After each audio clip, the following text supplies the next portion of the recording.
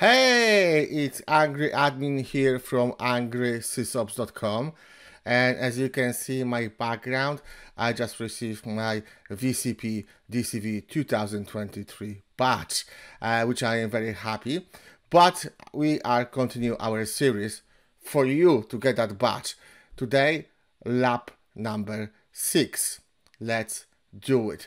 What we are going to do in this lab we are going to create standard switches. As you can remember from previous labs, we are already logged in and I will not uh, take you through the process of logging in to the vCenter. Let's add virtual machine port group named production to the host um, 01. So let's right click on the host and click add networking. Now we have uh, three options, but we are interested in the virtual machine port group for standard switch. So the option number two, click next, select new standard switch. We leave the MTU as it is and click next. On this stage, let's select vmnic 2 and move down to active adapters section let's click next. And we put a label on the network called production. We don't change the VLAN ID let's click next and finish.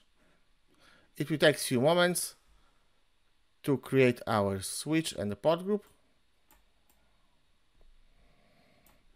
Okay that's been completed. Uh, let's see how it's been done. So we go into the configure and now we can see virtual switches. Uh, let's that one. So we have standard switch 0 and standard vSwitch 1. This is our VNIC 2 which we move to that uh, which we move to the switch uh, 1 and the rest of the NICs stays on the vSwitch 0. We did that to separate our production traffic from our management traffic and our storage traffic.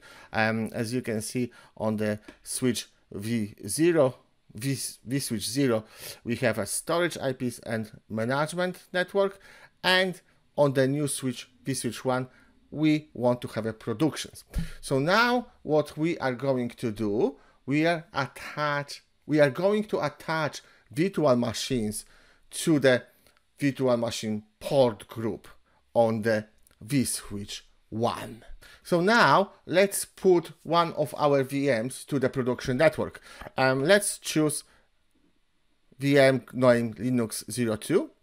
Uh, let's right click on it. Let's edit settings and as you can see now uh, that VM is connected to VM network and we want to change to our uh, production network. Uh, as you can see there is no production network here that's why we have to click on browse and select our production. Click OK, click OK and that is done. Now to check it Let's have a look if that production port group is listed over here. So now if you would like to power that VM on, let's click on the power on and let's wait few moments. Let's observe Let's observe the booting process. This VM is pre-configured uh, with the local admin account, um, but again, if it's a new Ubuntu, uh, you just need to log in with the user you provide uh, during the system installation, um, or if it's a Windows, um, similar process um, to uh, to log in into your uh, VM. So let's click on the terminal now and let's uh, check if we have a IP assigned.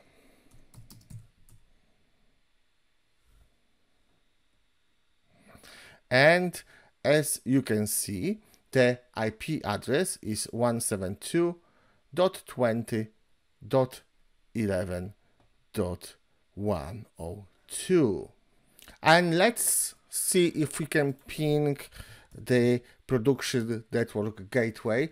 Now, remember that your network could be configured with different IPs and you can set up the different uh, gateways. Um, in my case, um, the 172.20.11.2 is a default gateway for the production network, which we can see it's pinging. Um, so what we can do now, we can add another VM to the production network, uh, VM uh, Linux 04. Uh, let's do the same process, edit settings. We will choose the network. We will browse, production, okay, okay, and we can power on um, that VM. Let's see, we see that is production network is listed here. Um, let's open the console and you can see the Ubuntu system starts now.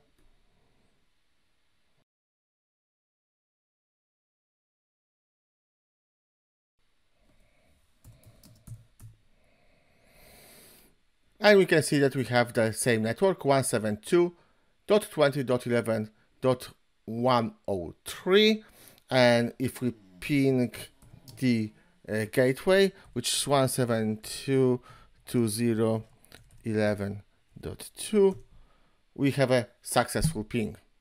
Okay guys so this was lab number six. Uh, please leave a like and subscribe and click all the notifications not to miss another lab thank you and i see you in the lab number seven